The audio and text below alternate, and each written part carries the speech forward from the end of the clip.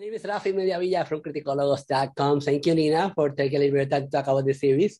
Um, I'm coming to you live from San Juan, Puerto Rico, so we're going to talk about that. Love Congratulations. It. Yeah.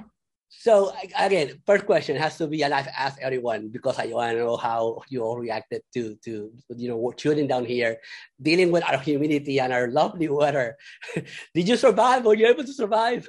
We survived. We had so much fun. I mean, I think I think it, it's definitely a big shift to go from like fast paced like New York or LA to like island time, but I mean, it's so beautiful over there and we really all bonded um, at like the beaches and at the rainforest and we went hiking and you guys have like an incredible like like we went out in old san juan like every weekend and we had yeah we had so much fun out there. I, and i don't think we'd have we would have had that much fun had we been in new york or in la or, or somewhere else that's good. I'm, I'm good to hear you have one. That's that's important. I, I want to ask you. This is one of your big. I mean, you, you may correct me if you want to, but is this one of your biggest, new, your first big project? And and you, obviously you had to work alongside uh, Nick, Nick Offerman, obviously, but also you you had your your body is in the poster. So I want to know how did you react when you saw the that the hey.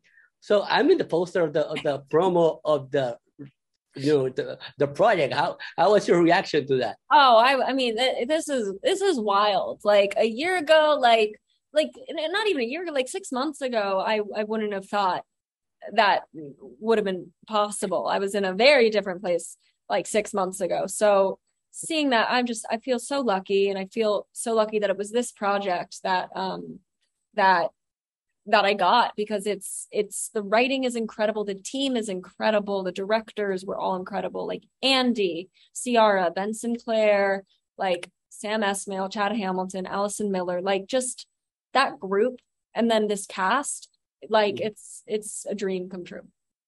And let's talk about working with Nick. Did he give you any pointers? Did you learn something from him, or did he did just just do what you want? No, no, a, a little bit of everything. I mean, he was great and and us in scenes together you know i i really had to kind of calm myself down and be like just play off of him. Like that's all you got to do. And um he was so kind and so generous and giving and one of our scenes i think was was improvised um where we're talking about chopsticks. He was actually teaching me how to use chopsticks because he had spent like a year in japan and like yeah so and and he's just he's just so gracious and has so many stories and i learned a lot on screen and i learned a lot off screen from him you also work with Skyler, and you, you obviously you had a bunch of things uh, in the other in the, the flip side of the story uh, with Skyler, and he's also somebody that has done so much in his career already.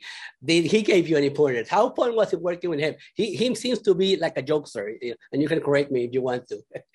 he is i mean he is and he isn't. He can he's very um he's always very prepared and very like on it and um and and just um like a master and and you can see his um the way he prepares changes from project to project. And i think that was really interesting to uh talk to him about and talk about how you know he like prepares for a scene because i come from like more of a theater e background where I did a lot of theater in college, and um, so switching to film and TV was, you know, kind of a, a, a big change with preparation and everything. So talking with Skyler about it was great, and and he was such an easy person to work with and talk to and everything. Yeah. Uh, one one final question, and I'm gonna let you go. I promise. Uh, how did you relate to Violet in her situation when when it, this, this flips on the story because of everything that happened, and and I think that Violet is something that a lot of girls gonna relate to when it when it comes you know with conflicting with his dad and and the yeah. whole uh, growing up as a kid. So how did you relate to Violet in, with with the character? Yeah, I mean, I related to her massively. Uh she's she was going through the loss of a parent. And when i got this role i was going through the loss of a parent. And uh we were dealing with it in different ways but i think it's really uh important to show uh grief at that at that age and how hard it is to talk to your parents about it and be vulnerable with your parents. And um, also showing that grief isn't always so sad there's it's numb it's mm-hmm. it can be you know you, you can poke fun at it sometimes and her uh i think her relationship with skyler really uh shows that and showcases that that you don't have to be talking about it and everything it can just sit there and that's okay Nina, again, thank you for your time and congratulations on the series. I absolutely love what you guys did. And I, I, I'm glad you guys had fun down here. Yeah, thank you so much.